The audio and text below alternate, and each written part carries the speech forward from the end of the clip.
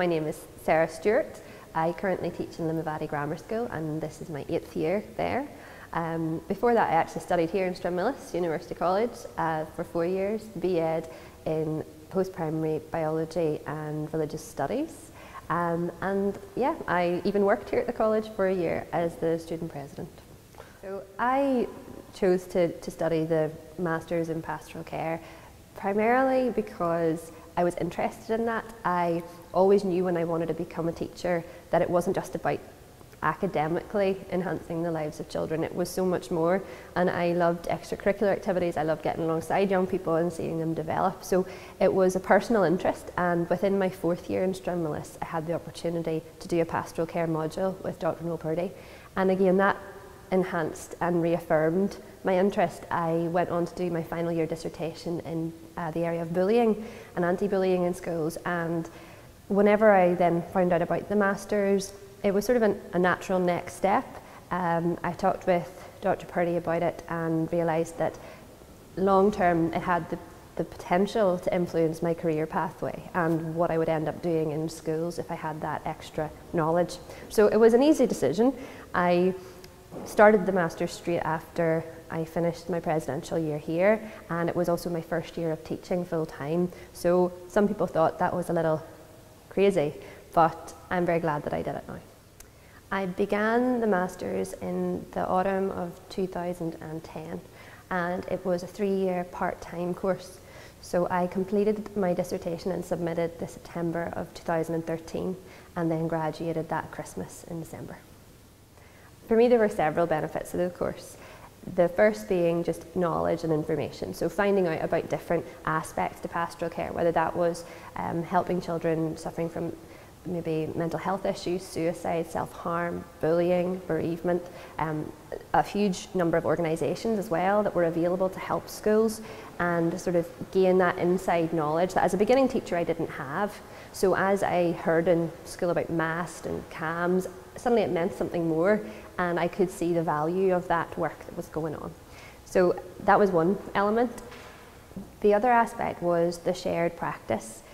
There were a lot of people on the course coming from different backgrounds, whether that was primary school teaching, post-primary, um, youth services, and their different knowledge and experience meant that they were bringing practical examples to the table that not everybody had, had experienced themselves. So we were learning from each other and um, even the age differential, people who had been teaching for maybe 20 years had so much more to offer in terms of their experience. So it was very much being able to share knowledge and also learn new information and I really enjoyed that about the course.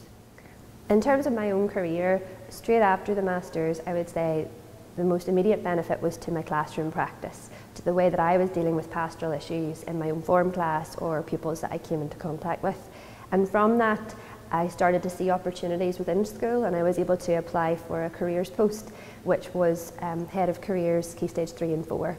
And seeing the opportunity there to enhance pupils' decision-making skills and give them a sense of enthusiasm about their future. A lot of the, the issues we deal with with mental health, for example, the children are quite often um, uninterested, they don't feel a sense of purpose, have a sense of direction. So with careers, we were able to give them a little bit of that, you know, start them thinking about their future, having goals and aims and targets, and um, also just getting them to see what was out there in the world. It was a, a great opportunity. Uh, and I was able to get that role, I think, partly because of my master's. It definitely set me apart from other candidates that applied for that internal post, and it showed a degree of dedication to my profession that I was willing to do that part-time and really, uh, yeah, go above and beyond. If you were an undergraduate here in Stranmillis and you were considering the master's pathway, I would definitely say I benefited from doing it so close to my undergraduate. I had one year between graduating from the college and then taking on the master's. I think in terms of my academic level, I was still writing at the same level. I understood what was required of me in terms of assignments and, um, and how to work with my lecturers and get the most from it. So I'm glad that I did it that early on.